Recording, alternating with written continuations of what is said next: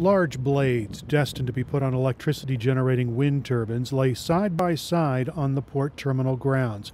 They're stacked where two long warehouses used to sit.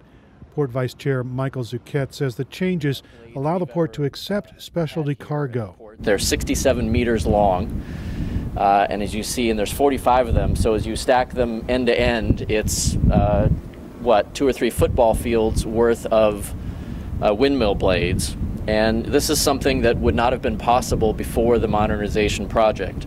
This port upgrade is also part of a larger plan to eliminate some pollution generated here. Port officials are working on replacing diesel vehicles with electric ones.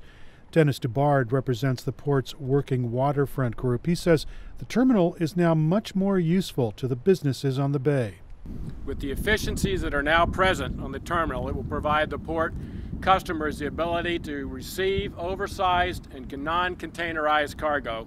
This is especially important to the shipbuilders and maintainers along the waterfront. More business for the port could mean more pollution in Barrio Logan. How that is dealt with is still being worked out with the community. Erik Anderson, KPBS News.